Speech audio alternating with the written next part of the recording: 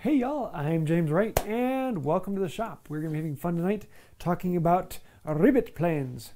Um, yes, it's one of those things where there's a thousand ways to say it. We'll be talking about that as well. Uh, there are a lot of interesting things on these that I've been getting a few questions about, but one person actually asked today, or a couple days ago, uh, what are all the differences and how do you go about knowing which one to use for which job? So we're going to uh, cover a lot of that information today. Uh, but we got a, a, few things going on. I don't think there's anything on Sarah's bench this week. Um, it's been a, a, busy time. Yes. Yeah. So some, some, for some reason. there lots of things going on at the hospital right now. I'm actually thankful she's here. And uh, that may not be next week, but we'll find out. um, yeah, and uh, for those of you wanting to know, the solar panels did get on the house. Um, however, we had a big storm came through with a massive amount of like uh, quarter size hail. So I haven't got up there to check and see if they're still good. Is it seriously? Did he just give the bench update? yes, yes. There's nothing uh, to show. I'm sorry. so yes, I am going to be doing a video on the the solar panels. I've had a lot of people asking questions about that. So um, yeah, because it's you know if you're all hand tools, I mean it's got to be you're generating your own power. So that way my cameras and lights are actually powered by uh, yeah okay that's just the same. Are you kidding? You got a later. kid bicycling out there. Yeah, yeah. generating power. I got all three of them on a power bike. When they go off to college, all the lights turn off. um, let's see. Uh, oh, oh, the uh, for those of you wanting to know, I do have a few of the uh, the puzzles still in stock. These are um, I, I, print these off for the Christmas time. Whoa! And whoa, whoa let's try that. And the really reflective tape on here, but so you can actually get a, a puzzle of the shop. It's kind of a fun one because you can pick up pretty much any piece and be like, oh yeah, I know where that goes. Um, and uh, yeah, so I, I print one of these out with what the uh, what the shop is in this year, and I only print a few of them, um, so there's there's only um, a few of them left. So if you want one, jump on it. Um, but they're in the the Wood by Wright shop. Link down below. Um, anything else going on right now? Are we going all solar? The question was asked. Uh, yes, we will be generating on average all the power needed for our house. Um, it, yeah, so it'll be we're we're still connected to the grid um, because we're in Illinois, and so there's sometimes where we're not getting enough. Uh, we don't have a battery system on it, but uh, we'll be uh, be covering that one later. And I just defer all questions to him. there's some things that I do, and there's some things he doesn't. That's not my thing. Yeah, I'm a, I'm a belying of the hand tools. I am a total tech geek. Um, so yes. you could have just said geek. No, anyways. Um, yes, that too. They want to see the Stanley number one. It's right beside you. It's beside. Oh. This Sarah for scale. no, it's not my Stanley number no. one. Um, no, no. um, I tried to prank my wife with leaving it on the table and she coming in and be like, "You bought a number one," but she didn't do that. I even tried videoing it and it was a worthless video. Are you calling me worthless? No, the video. I was a little tired when I came home from work. Okay. no, it's uh, on loan. Um, a, uh, I'm going to be doing a few videos actually uh, fixing that one up, and we're still deciding how far we want to take the fixing on. I may end up actually doing a new Japanning on it, um, mm. and and really making it look um, not quite brand new, but really nice. It needs some work. I'm going to be fixing up the tote on it.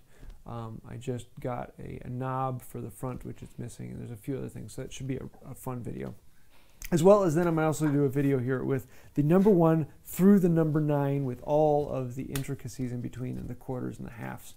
Um, so that will be that'll be a fun one because I um, I actually haven't seen. I'm sure there is a video somewhere on YouTube, but I haven't actually seen one with the number one all the way through the number five with the quarters and halves in there. So that, that's a video I've been wanting to make for years. Uh, so finally, and it's not mine, but someday I'll have one. But not but it's clickbait, and that's all you care about. so, um, rabbet planes, moving fillisters, rebate planes, um, the uh, the carriage maker planes. Uh, these are they go by a whole bunch of different names. Um, so I want to start by talking through what are some of the definitions and differences, um, and what makes one or the other. So uh, let me flip over to this camera here. We are going to start with the standard, just a rabbit plane. So this is uh, a rabbit plane or a, uh, a carriage maker's plane or a carriage maker's rabbet plane. This is a 10 and a half. Um, so it's about the same size as a number three. Uh, actually, no, it's about, yeah, about the same size as a number three. Um, but the blade comes all the way to the outside. And so you have these cutouts here where the, the blade is out on this edge. And uh, that allows you to get right up against the side of something because normally with a plane there is this lip running along the side and you can't get right up to the edge. You can only get as close as you can with the thickness of your sidewall on there. So all of these planes in common, the one thing they have in common is that the blade comes all the way flush to the outside of the plane. No matter what it is, the blade comes to the outside of the plane. And so that's where the confusion happens because all of these planes have that same feature. But they all have several other features. So whenever someone talks about a rabbit plane, um, they're talking about something that comes all the way to the outside. Now then that brings us on to the, the term rabbit um, or rebate, depending upon where you are in the world. Um, the uh, uh, people in UK say rebate, people in US say rabbit. Um, and that leads to a lot of confusions, and some people think that they're two different things. And they're just two different things with, with like four different spellings. Um, and even both of those are spelled different ways. And so you may see four different spellings for the exact same word. Um, gets very confusing, but it all goes back to a French word meaning, um, what is it meaning? Like groove or direction, something like that. What, what word? It's a French word. Um, the French word is um, rabat, rabat, something like that. Um, I'm totally butchering it. I'm not French anyway. Your uh, first clue was. But uh, yeah, it has it has morphed over time. It, the original English was um, a rabbit, and has slowly morphed into rebate. Um, but the American English stuck with the rabbit, and now it's just making confusion around the world. So anytime you hear someone say rabbit, rebate, rabat, um, they're all talking about the same thing. We're talking about a chunk of wood where the corner has been taken out. So you have a slice this way and a slice this way. That chunk has been taken out of the middle. And it's not, it's like half a groove right on the edge of a, uh, on the edge of a board. Um, okay, so other types that come into it. The next thing you then have is a moving fillister plane.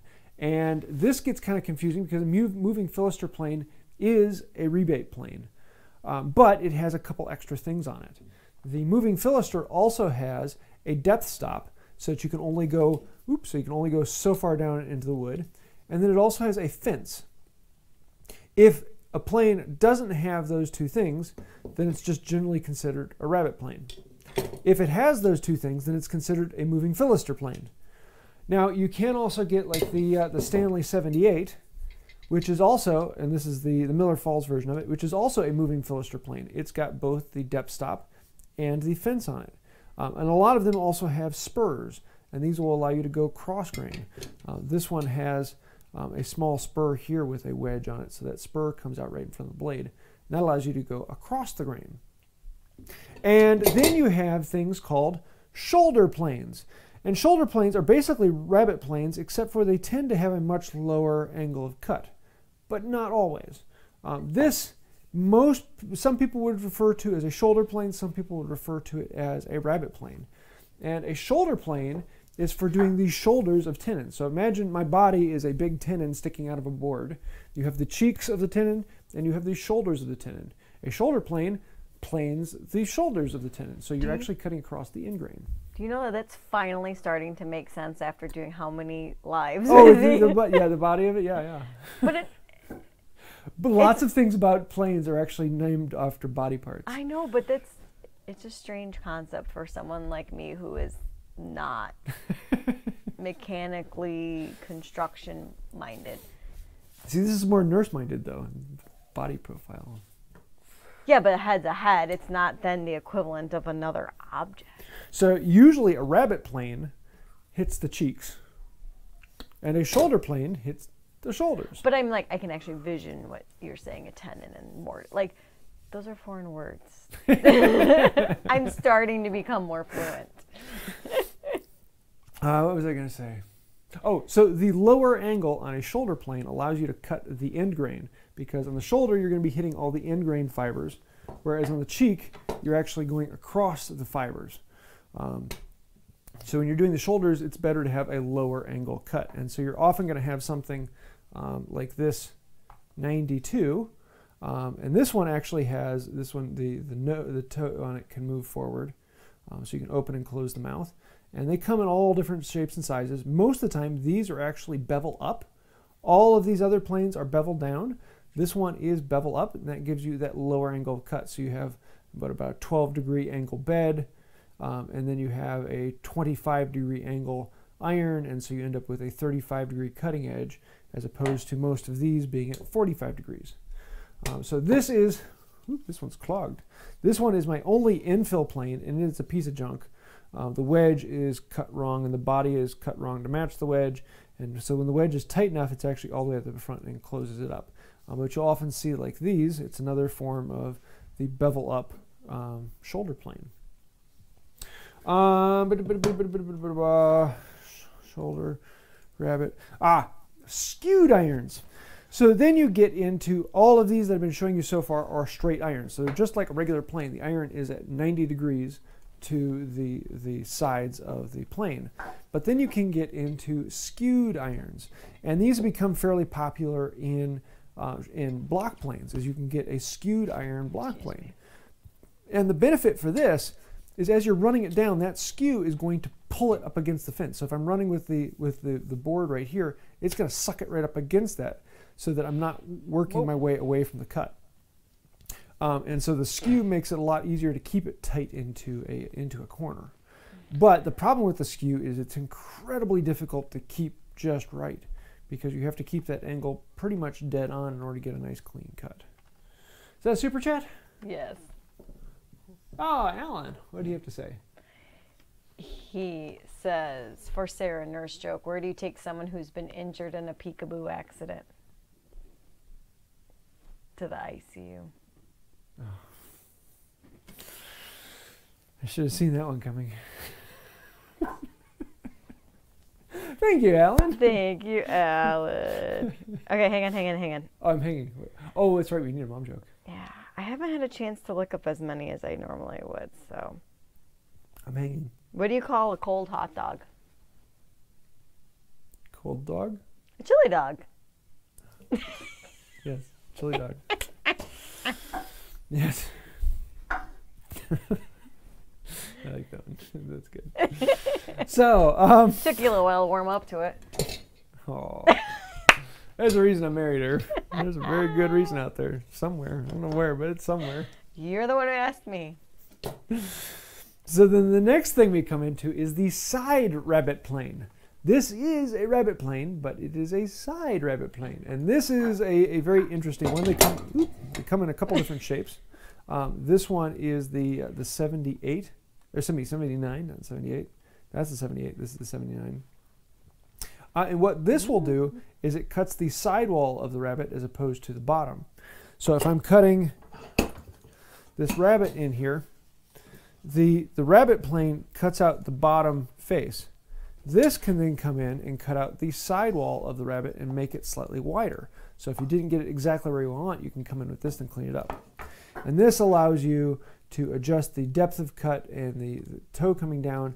I can actually move the, uh, the toe of the plane in and out. And if it's full and has everything, it also comes with the fence on there. Um, the, most of them are missing the fence on them. And they come in a couple different types. You can also get the Stanley uh, 98 and 99, which basically take this and split it into two different planes. Uh, so you can have one that goes one way and another one that goes the other way. This one is really nice because it can do both. Um, I can go both directions. So if the grain is chattering one direction, then I can put this one in the other direction. So that's that's a very very quick overview of the different types, and and there are other ones out there I could talk on. Um, but this will give you a, a, general idea. I want to go into some of the setup and use on these in a minute. Uh, but are there any particular questions that I should hit right now? Uh, I mean, I have questions. I don't know where they fall in line with. Why don't you throw in at me because I got to set this up. Okay. Let's see. Tom West asks, How often do you use the Carriage Makers rabbit plane? I saw one on Amazon for 60 bucks and was thinking about getting it. Do you think it's worth it? Nope. uh, carriage maker's rabbit plane. Um, if you do a lot of large tenons, this is very useful. If you are going to be doing very large rabbits, this is very useful. So if you're doing timber framing and things like that, it's a good plane to have. Um, although if you're doing timber framing, you're probably going to want a jackrabbit. Um, a jack, jackrabbit is, um, well, it's a jack plane that's a rabbit plane. Jackrabbit. That's kind of cool. I like that one. Um, but it's it's the same length as a number five, but with the rabbiting on it. That makes it very easy for doing um, some of the big timber framing items. Um, I I actually have never used this one in a project. Since I've gotten it, I haven't done any tenons big enough for it. Um, yeah, even the ones on Sarah's bench aren't going to be big enough for this one because they're going across it. So yeah, don't need them very much. it's it's it's one of those things. Then it also has to be set up. Um, so if you keep it set up and keep it running well, then it will be very beneficial to you because you can just pick it up and use it. Um, but if it needs to be set up, then you're running into the time thing of, well, is the setup time going to cause you more than it's worth? Um, so let's actually talk about some of the use of a rabbit plane. Now, let me show you. This is the first one that I ever got, and this is actually one that has been modified um, very, very heavily. And uh, I actually, I, I kind of like this one occasionally because it has that little bull nose on there. It's small, it's comfortable. Um, he actually had tapped two Ooh. holes in here. You can put a fence on it. Um, but, uh, well, actually, let me just show you this one. So what you want to do is you want to hold it here, and then you want a couple fingers underneath. And traditionally, it was done without a fence. And you use your fingers as the fence so they can slide along, and those will hold you at your depth, except for my iron, not to depth. I'm just taking really fine shavings. Really, really fine shavings. Uh, was that a super chat I saw? Yes, I was waiting for you to notice. I'll take a breath. Tom says, thanks, King James, Knight of the White Oak. Thanks, Sir Tom. Are you ready? What's that? These are all like kindergarten jokes, just so you know, because that's all I could find this week. What do you call a sleeping bull? What? A bulldozer. That's a good one. so, here I've taken off the fence and put the depth stop up. So what I want to do is I want to put my fingers on here and I'm going to start it and I'm going to let it slide on my fingers and use my finger as a fence. And once you get one or two passes in, then you'll get this ledge that you can put it up against. And you won't need the fence because you'll have that ledge in place and you can very quickly get a shoulder going. And so a lot of the old timers um, used to not have fences on them. And that's why you find a lot of these that are missing the fence and depth stop because it's just quicker and easier to grab it and set it up like that. But if you're the type of person who likes to do full setups, then you can put a fence on there. And these, you have to loosen this up. Comes with a rod. Screw that rod on all the way down. And then you have the fence that can slide down. And you can set that to whatever measurement you want to do.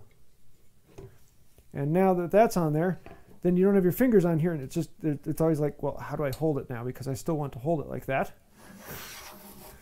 And now you're just always pushing it up against the fence. You want to make sure the work is all the way up against that fence so that fence is riding on the side. Because that's the problem with most shoulder planes is that they want to work out and away and you start getting all of these stepped shoulders. But if you have a skewed rabbit and this one needs to be set up a bit more. Okay so do i get to Sure. To, to do a couple of them. Yeah, yeah, yeah. You want to try one? Well, just, yeah. Let me, let me, just finish this up first. Okay. You always make it look so easy, and then I come and so with this one, with the skewed iron, you got to do a little bit more. Well, that was a bit too much. see if I can back it up.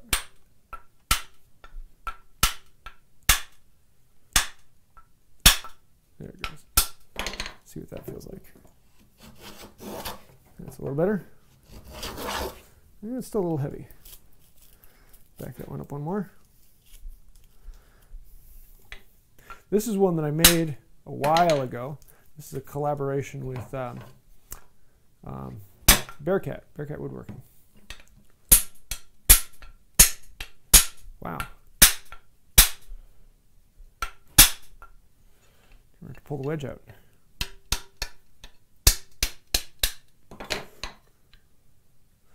That one was having fun.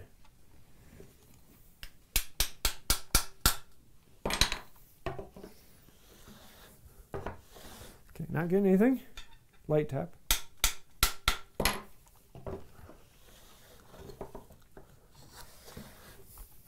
Light tap. Yes, I'm using a metal hammer on a metal wedge.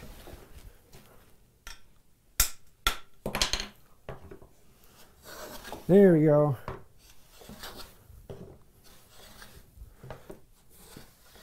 A little more.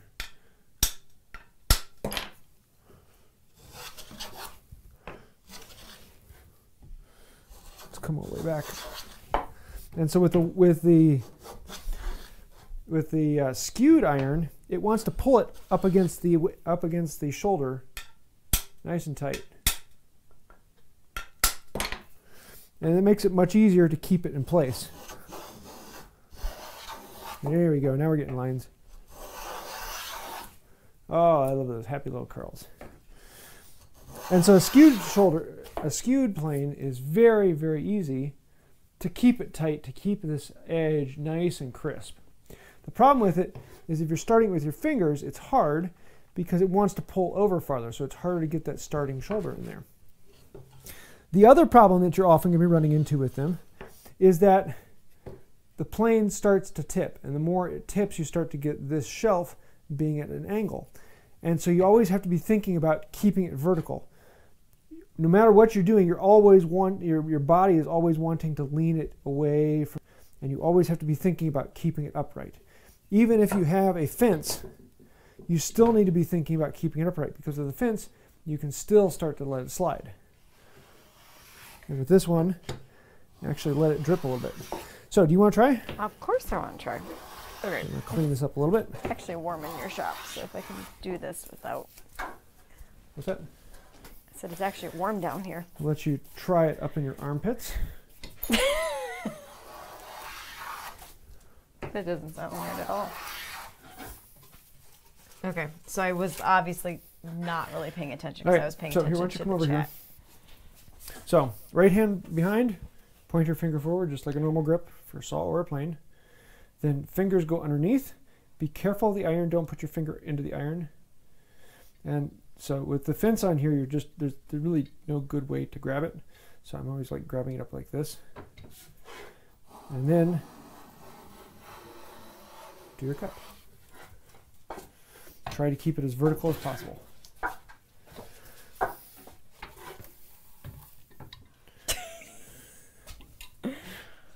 Maybe I should get on my stool. Have a couple fingers in front of the iron as well.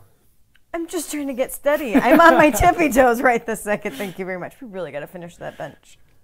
Like this? No. Yep. Yeah? Oh, you make it look a lot easier. Almost on my tippy toes.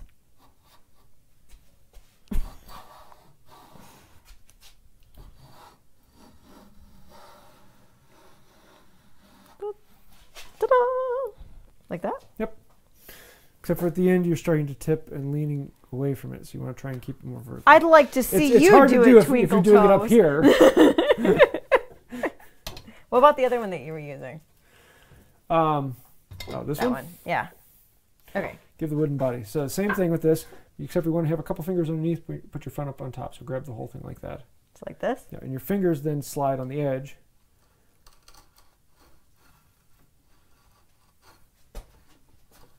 This one feels very different. Yeah. Is it not gonna? Oh, there, it's cutting a little something. Okay, I don't like that one. I like that one better. You don't like the one I made? well, at least I feel like I'm cutting with that one. That one just feels. Well, that's because there's there's an angle to it, so it's it's starting on a yeah, um, a facet. Yeah, but I think think 'cause I like the weight of that one. That one just Yeah. I feel like it's. The wooden plane is much lighter. Uh, let's see. I like a little gravity in the situation. Let me show you the, the fun of a shoulder Holy plane. macaroni! I gotta catch up on this. Yeah, yeah. now you get to know it feels like to have other people talk behind your back. Here we switch this around. And the shoulder plane then allows you to do end grain fun. Um, so you can do the shoulder of a tenon. One of these days I'll teach the kids how to be a cameraman. Um, so with the shoulder plane, you're doing the exact same thing. If you don't have a shoulder right up against, you just put your finger underneath. This one's a pretty heavy cut. We're going to blow out the end because I'm not stopping there. You can see how we're getting that rabbit, but then on the end grain, because it's such a low angle, it can slide right through it. Now that I have it established, I can go to town, cutting that rabbit into the end grain. That's just so much fun. I love that. Um, so that's what a, a shoulder plane excels at. Um, let's see. Oh, then we got the side rabbit plane. And with the side rabbit plane, got to crank the vise down a bit more. Bring this over here. With the side rabbet plane, you can put it on here, and I'm actually going to take material off of this side with it. And I can let that ride along. And this blade is sticking down here, slicing right out the side of it. And so if you have a groove that you need to be ever so slightly wider, this is the plane you want. This will make grooves wider. It'll make rabbets wider. It Doesn't take off much, but it'll allow you to sneak up on it and detail in that shoulder or the uh, well the shoulder of the rabbit or the groove. Um, so what what questions do we have right now? Oh, I'm not showing. Oh, sorry, I thought I was on this camera. So here, you can see you have the iron sticking out on the side there, and on this one I'm going to be holding it in tight here. So I want to be pushing it up against the side. And get these curls like that. Allows you to do the side of the rabbit. Thus, side rabbit plane. But the nice thing about this is it has a blade going both ways. So in this case, the grain is going that way. If I try and turn around and go this way, I'm going to catch into the grain, and it's already starting to chip out. Uh, I'm getting tear out on there. Okay, so Not to did mention you these are actually a little bit dull. already say when you would use these kind of planes? Because you know I get distracted by the chat. Yeah, uh, well, I, I kind of hit on them, but to kind of overview that, I'm sure we've had new people join. They're all rabbit planes, um, so they will all do rabbits. And really, you don't need anything special. Just a simple rabbit okay. plane where the iron goes all the way to the side. Back it up a step. Okay. A rabbit is just a groove, correct? A rabbit is half of a groove. So it's a groove, but rather than being right so down the that middle what of the board. is that what you would use for like a box if you were having a sliding thing in and out? no, that's a groove. Oh. Um, so if I have the board, and I have a groove going down the board, Yeah, a slot in it. yeah. A rabbit is half that, so it's a groove that's right on the edge and doesn't So have the other side. what would you use it in building? Um, if you're doing a, a corner where you want to house another board into that, Ah, um, it gives you a better gluing surface uh, rather than just So being one edge. You have two edges against it. Um, so is it like a cutout miter joint kind of a kind of. It's thing? this edge right here, where Sorry, I'm really trying to visualize this. where the the corner of the board is check check. Gotcha. That's that's a rabbit or rebate. Whereas on this, that's a groove. See, it's it's so a groove that's like on the edge of the board. molding kind of a thingy? Um, it can be part of molding. Um, it can be one of the, the steps in it. Um, it's, it's one of those things where it just has a bunch of different odd uses. Um, if you're doing corners and you're wanting to glue them together rather than just butting two boards up and gluing it, putting a rabbit where one of them kind of sinks into the other one a little ways gives you a better gluing surface. Um, Gotcha. So it's a stability thing. stability thing, gluing surface. Um, it's also if you want something to slide in and stop. So if you're putting the bottom on a box and you want to slide in And rather than just slide in free flow, you want to slide in and have a registered stop. You'd have a rabbit running around the inside of the box that the, that the bottom goes into. God. Um, yeah, there's there's a there's a bunch of odd places for that. Um, the back of a drawer bottom. Um, so if you want to be able to make the the, the drawer um, the the bottom slide in and out. Um, I'm trying to think of other things that I've had it on. Um, oh, drawer slides.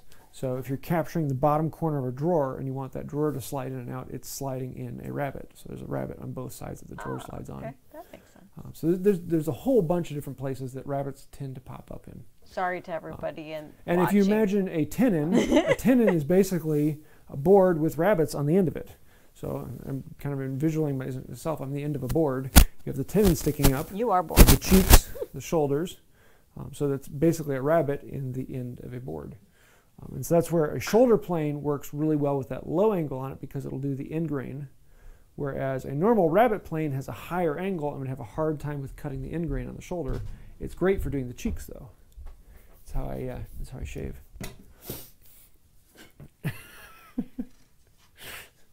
um, and then you have your side rabbet, which does the side of the rabbet because all the other rabbets do the bottom of the rabbet. And then this one does the side of the rabbet. So, I mean, if, if it's on a rabbet, you could actually take a rabbet plane and turn it 90 degrees and use the rabbet plane to do the side of it.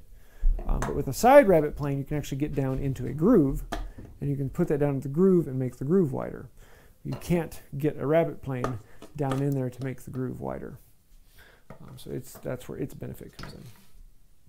So what questions we got? I think it's just the excuse for more tools, but no, Well, it's always the excuse for more tools.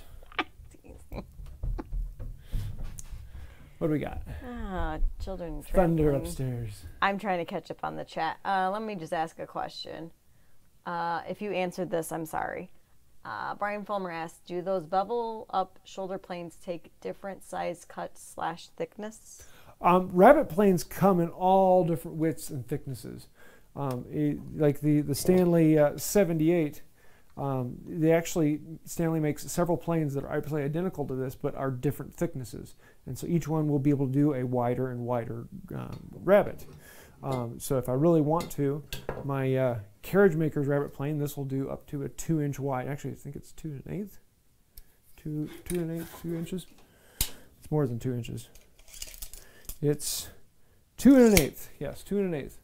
Um, so this could do up to two and an eighth inch wide rabbet, um, whereas this little shoulder plane is three quarter inch wide, so it can't do anything more than three quarter inch wide.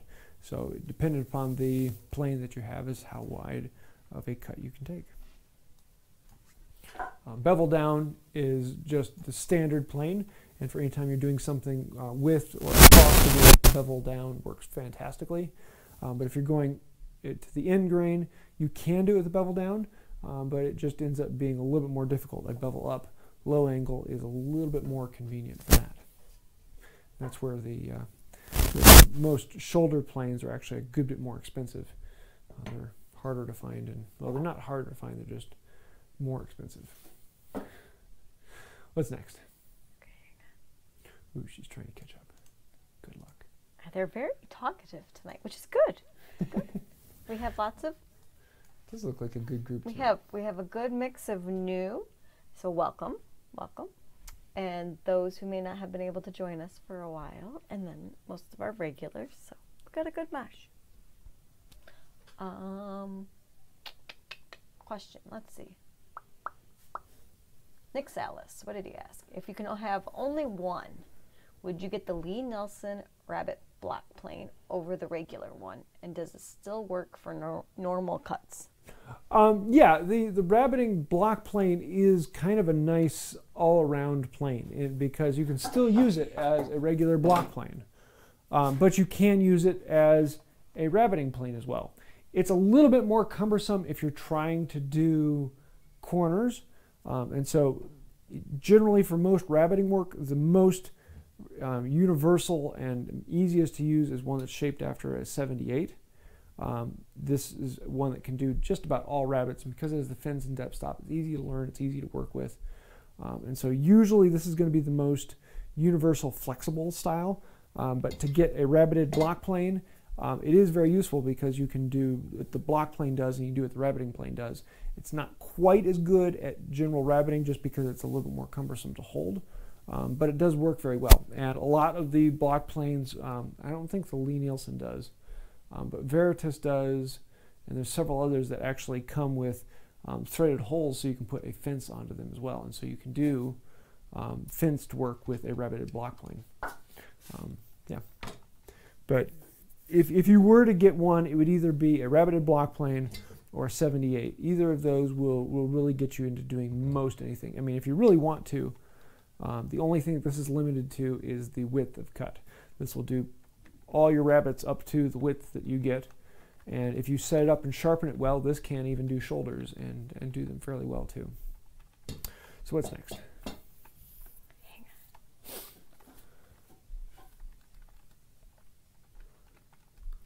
Um, let's see. I'm not sure how to pronounce this. Lanye?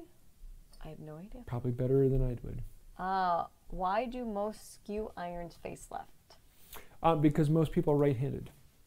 And the reason being is that if you're right-handed, you're planing this way, and so you want to suck it into the board that's away from you. Um, as if you're left-handed, um, you're going to be going this way, and the skew is going to want to pull it towards you away from the, the shoulder you're trying to make. Um, so most of them are right-handed, and that's to have the, the skew angle pushing away from you. Um, however, they do make left-handed skewed irons. They're not as common, um, but they are out there. Um, just uh, if you are left-handed, you'll probably want to get them. Otherwise, you can turn it around and just go the other way, which is always good to be able to learn to pull a plane rather than push it. What's next? Besides listening to the kids Sorry, scream I was trying not to belch on. you got microphone control. Speaking of microphones, we're getting a little bit of static feedback, by the way. I don't know. Are they saying that? Yeah, Yeah, I don't know. I'd have to. I'm just It might be one of our cables is going bad. Just telling you. Okay. Jose Perez, what did he say? When is he going to use his pole lathe, though? The pole lathe? Yeah. Oh, the pole lathe and the pieces over there. I have quite a few videos of using it. Uh, the problem with it is it takes up a lot of shop space, um, and so I, I don't use it that much. If I need to do lathe work, I have my Barnes number five I'm going to use, um, and that just is a lot easier because it takes up a lot less space and it's a little more functional. Uh, but I'm hoping next year to actually do some outdoor woodworking, um, and I'll actually have a spring pole lathe out there. But I do have quite a few videos with the, the pole lathe if you want to see those. I actually have a bowl turning on the pole lathe, which was very fun. oh, is that a super chat? John Juggler. Thank you, man. Yeah, thanks for coming back. Okay, hang on. Ready? Yep, ready. What's the difference between a hippo and a zippo? What? One is really heavy and one is a little lighter. Ah, yeah, yeah, yeah. Thanks, John. What's the difference between opium and uh, and um, Moses? Abraham. Get the joke right. opium and Abraham. Yeah, the other one. Opium is the juice of poppies, and Abraham is the poppy of the Jews. There's a reason that she tells the jokes. And I stand here and look pretty. ding, ding, ding. We have a winner. What's the next question we got? All right. Um, okay, so some of these questions talk about certain number planes. Are rabbet planes like in the 70s? Um, well, no, they they're all different numbers. Um, this one is the 78. This one is the 10 and a half. Okay, but what I'm saying is, is that like if I say is a 79 worth buying, that's related to this. Yeah, yeah. 79 Okay, is very similar. I don't to know the, the numbers. Um, Give me IV gauges. Give Yeah. me NG. and if you get it without the fence and the depth stop, they're they're very very cheap. You can usually pick them up for around 20 to 30 bucks. Um, you get one with a good bit of rust that needs to be wor- worked on, you might get as low as 15. Um, and uh, if you have them with the fence and depth stop, then the price goes up because sometimes you the fence often costs more than the whole rest of the plane because they tend to get lost. But as in numbering, uh, this is 78. You have the 92. Um, you have the I remember what was the number on this one, the 192, the 10. Um, they're all over the place. What's next?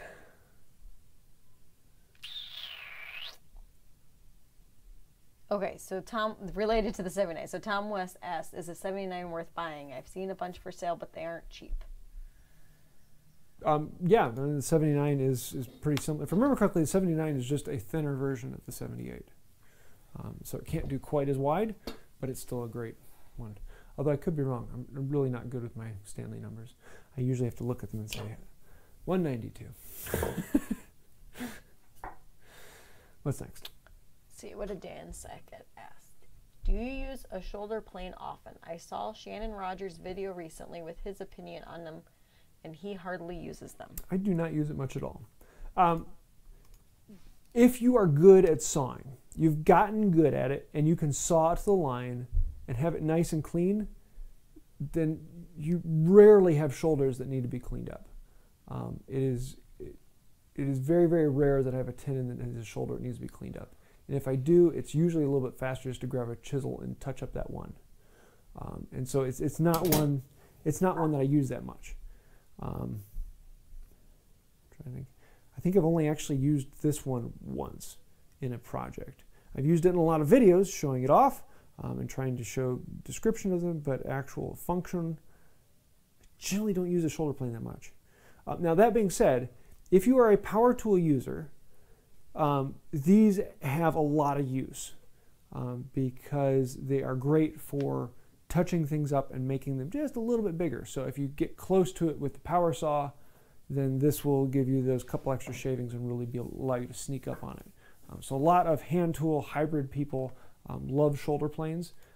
Most people who are just hand tools eh, don't use them that much. What's next? Okay, so we have two super chats. Oh, super chats. So Fiber Inspector said, please close caption your uh, podcast for us old woodworkers. Um, I can't close caption the live ones. You can't turn it on? There's an option. There's a toggle. I don't know if I can now that we're live. I don't know. I, I, I don't know that it would do that because it's live. Uh, although I've never played with that. Maybe, maybe that's something. we feature they have. will investigate. So uh, I'll look at it. Thanks, man. All right, and then we also have another super chat from Brigette Anderson Atkins. And the question is, what would be a good sized chisel to make a poor man's rabbet? Uh, it depends on what what size rabbet you want to make. If you want to make a half inch rabbet, then you need at least a half inch chisel. Um, so whatever you have. Um, and she's referring to Bridget, right? Yeah, yeah. She's referring to um, a video that Paul Sellers did a while ago with the poor man's rabbet plane, which is a, a great video. It's a way that it, if you can do that, you can make any molding plane um, with that series. Um, it's the very same way that I make uh, my grooving planes and tonguing, uh, tonguing planes. Is it's uh, it's a, it's a great way to do it. But yeah, it's, it's designed just to stick a chisel in it and, and go at it. But you, whatever size rabbet you want, you need to make a, a wider chisel than that. So, great question. Okay, and we got one more super chat. One more. Woo! Hey Dan. And Dan says, Thanks again for reminding me I don't need an expensive shoulder plane. is your wife watching with you? That was a lot of assumptions in that last sentence. Well, thanks, Dan. Well, why don't you give me a, a question while you look up mom jokes? I Are have you ready one. for it? Okay, good. I have one. She's awesome. I do bring the awesome. Did JJ not tell you this? I bring the awesome in the house. All right, ready? Yep. What do we get when a chicken lays its eggs on the top of a hill? What? Egg rolls. I like it. That's good you got a uh, question then? I have lots of questions. We have lots of questions tonight. Uh, let's see. Whose are we on? Uh, Theolith- Theolithic 71 said, I have a Stanley 78 and the fence isn't square to the sole. How would you recommend I fix this? Um, the fence doesn't have to be square to the sole. Um, it just has to be at the point where it touches. I mean, you really only need that one tiny point of contact. Um, so let me move this camera up and take a closer look at this. Focus on this, switch cameras. Um, so what you end up with, grab my square here, is, is that correct? And it really doesn't matter because it's such a small surface that if the if the fence isn't isn't dead on, the only thing, the only point that really matters is that that inside point that touches, because it doesn't matter. Uh, the the fence will not determine the angle of the cut because it's such a small thin surface. Um, pushing that against won't force it one way or the other. Your hand grabbing it back here will allow it to twist one way or the other. So this hand is what will keep your cut running perfectly up and down. The fence being slightly out of square with the sole um, really isn't that big a deal. Um, most of the time, I mean, I can think of a few instances where it might be. Um, the other way that you can fix that um, is either you could bend the rod one way or the other, um, or you could grind down or sand down this fence to match it. And there really isn't a whole lot of material there, so it wouldn't take that long to, uh, to shape the fence to match it.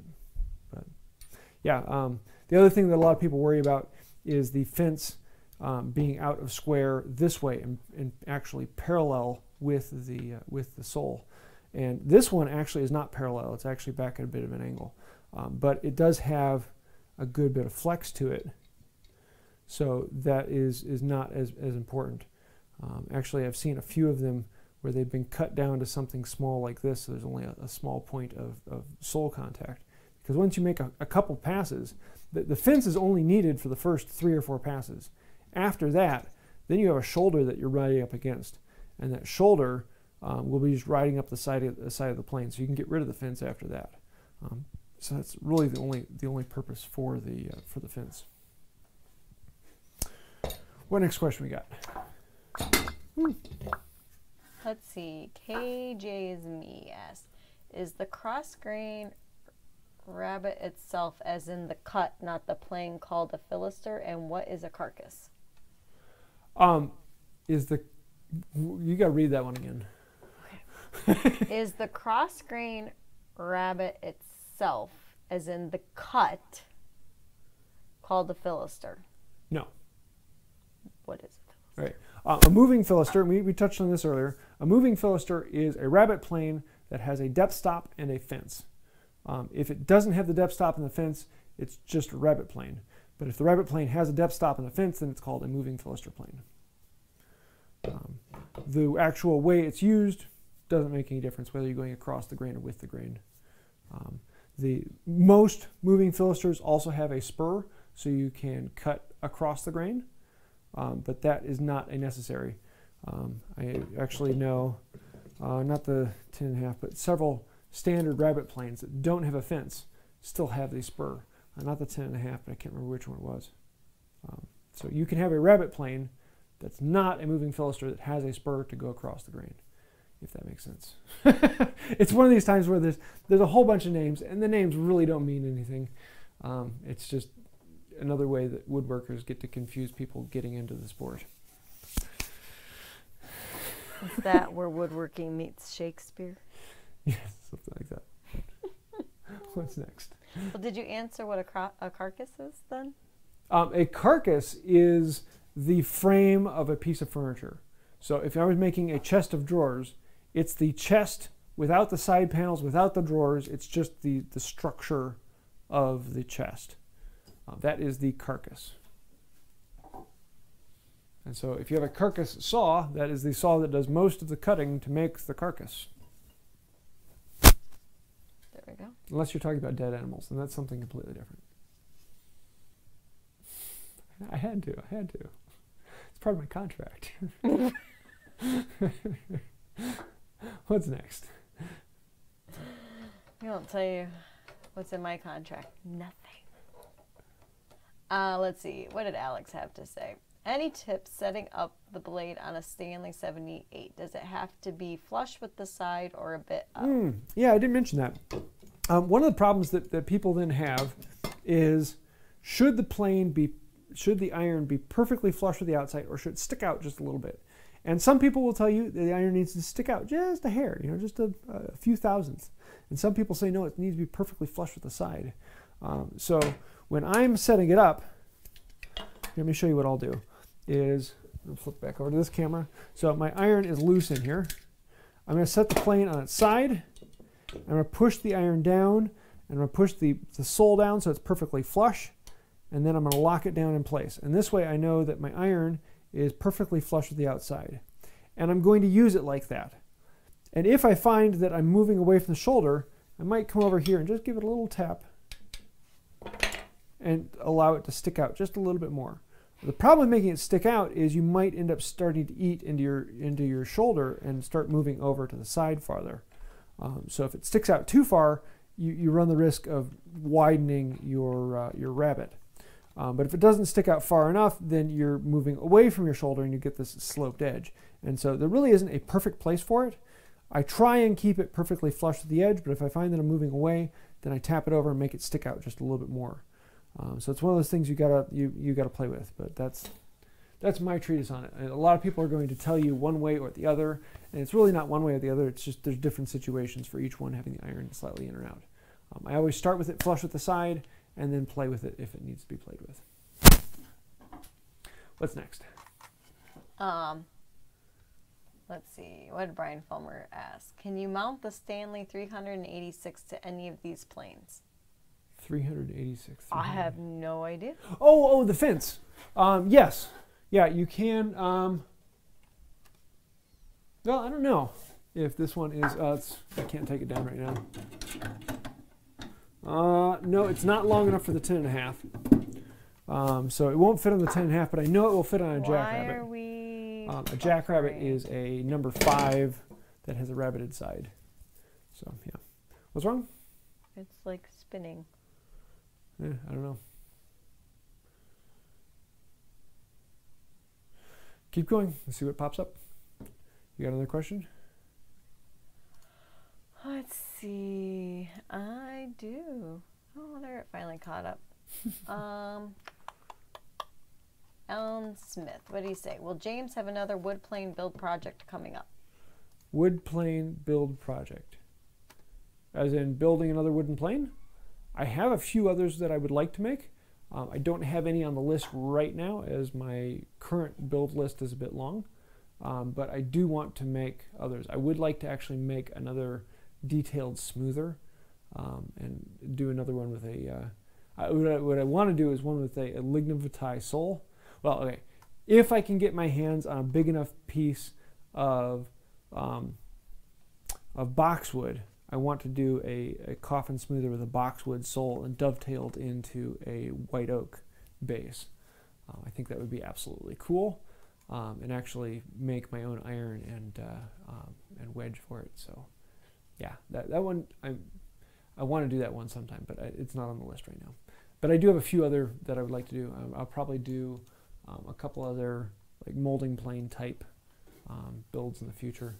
I might make another tongue and groove set, um, but those will be down the road a little ways. So yeah, coming up someday. What's next? Let's see. I'm very distracted by the noises from upstairs right now. What did Jose say? Is it possible to make rabbets with just a chisel? Oh yeah, yeah.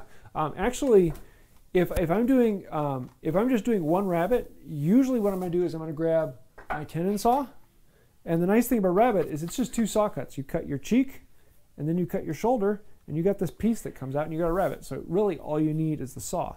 But if I'm doing a lot of them, or I'm doing many long ones, then it's a lot faster to have a rabbet plane. Um, and so if you have just a chisel, um, well, it's al- it's almost always faster to do it with the saw than it is with a chisel because usually what you're going to end up doing is, um, you, yeah, I actually have a video showing that. I, I did a live year and a half or so ago where I did like four different methods of creating a rabbet, um, and one of them was just using a chisel. Um, and you can do that. It takes a lot more skill and a lot more difficult, but it's very possible. Um, usually it's faster to saw and saw and, and be done, or at least saw one side and then chisel out the remainder. Um, but uh, yeah, you can do it with just a chisel. Is that another super chat? It is. Tom Thanks, said, Sir Tom. Knights Run Fest. Can we set up a hangout? Um, a hangout or after COVID, a face-to-face meet for the Knights of the White Oak and Patreon. Yes, yes, yes, yes. Um, uh, well, I, I do um, patrons um, and and members. I do a regular um, hang up. Actually, I have one coming up next week um, with the uh, the higher end patrons. But I do one every three months, um, quarterly. I do one with all patrons and members. Um, one of these days, I need to set up a little later so you can be there for it. Um, but once once COVID is over, I want to do an actual meetup.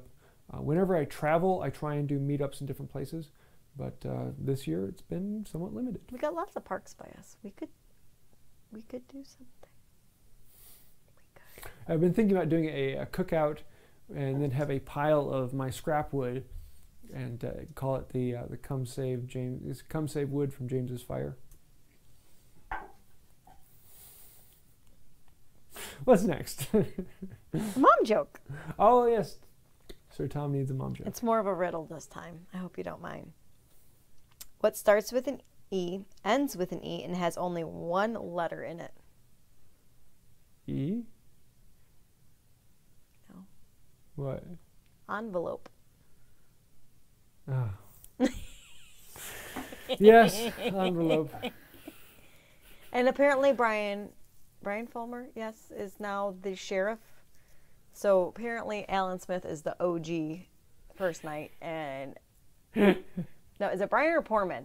Wait, did I get it wrong? Which one is the sheriff? Bryan. The Okay. knight's hierarchy.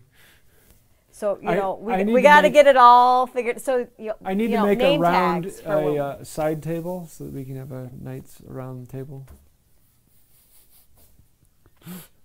What's the next question? We got enough time for Southern two more? barbecue in that cookout. Very serious. You bring the barbecue, we will eat it. if you build it, they will come. Applies to woodworking Knights of the White Oak too. Um, How many more questions do we have on the list? one, two, three, four, five, six. Uh, pick two. If we don't get to them, send me an email and I'll try Okay, I'm trying to think who's done super chats. I know Tom has. Okay. So Tom asked, How old is that beautiful infill you have there? Um, this one uh, isn't that old. Uh, it's actually it, it. This one was made from a kit um, by someone out there. I have no idea who, and I bought it in Pennsylvania. Um, and whoever made the kit really had no idea what they were doing, and it is a very very poorly made kit. It doesn't work. It doesn't function, and it's been one of these projects that one of these days I want to redo it and actually make it work. Um, but I haven't gotten around to it. So yeah, it's I have it out here because it's it's the only infill plane that I have, but it's it's really a bad bad one. So yeah. Hey Tom, thank you one more man. Yeah, no, I am. Uh, Roundtable shirt names and ranks. no, I'm thinking about doing a, uh, uh, a hive mind group on Discord or Discourse. I'm thinking Discord because the, the bot control on there is a little bit better. Um, and on there, then you can actually give people ranks and titles and things of that nature. So um, we might be doing something like that. I think it would almost be cooler if we just did Knights of the White Oaks, White Oaks, and they all picked what their sir or lord or lady or Oh, whatever. I think it would be cool if you all just picked your own names, and then we try to guess. and then we try to guess. I think that would be awesome. Who is who? One more question and we'll wrap this up. Okay, What we got? I don't remember who all super chatted. I want to make sure I got people who super chatted. One second. One second. Now, and for those of you worrying about it, we will keep both Facebook and whatever I decide to do with the other one. I just want to have something that's a lot Okay. more organized than Facebook because Facebook it's just like a stream of thoughts, and it, once it's posted, it disappears. And um, I want to have a better place so that people can post up their projects and what they're working on and, and share more ideas. Um, so we'll see how that goes in the future. Okay, I'm just gonna go with the next question because that's the way I'm gonna do it. Mr. Q, what did he ask? Uh, so would the side rabbet plane work on cleaning up the side if you get that step down issue like an inconsistent fence? If you have a rabbet, it's actually faster to then take the rabbet plane and turn it on its side and clean it up with the rabbet plane. Um, the side rabbet plane doesn't work as well with the step down cuts. It gets a little bit wobbly if there isn't a solid wall for it to grab onto. Um, however, taking a rabbet plane and turning it on its side will clean it up very quickly. Um, so usually that's what I'll use to clean up any fuzz or any steps that are coming down the side. Um, usually the side rabbet plane is more or less for just increasing its size. If you have a nice edge there, it can, it can hold up against that edge and clean it up. Um, but yes, if you are careful, you can clean up that step with a side rabbet plane. It's just not quite as easy with that one. So. Cool. Well, this has been a lot of fun. Uh, it seems like we've had a pretty good group on here. If you have any ideas for lives that you would like to have, um, let me know. That I, I, usually pick them from questions that I'm currently getting or someone who has a something that's really hard to answer on email. Hey, you may actually get an entire live. And this one was dedicated to. It was actually a question on one of the Facebook groups. Um, it wasn't one of mine. It was another another group where someone put up a question. I was like, you know, that'd make a really good live, and so I put this one together. So um, I think I'll do it for next time. For this time, we'll have another next time, which is Tuesday at 8 p.m. Central Time, and uh, we're here every week. So that will be the Q and A next week. Uh, yeah, next week is a big Q and A. So if I didn't get to your question, come back next week, and we will be answering questions um, all night long, or at least an hour. okay. Yeah. or some of us fall have asleep. to go to work the next. Cool. Well, I think that'll about do it. All so right. until next time, have a wonderful day.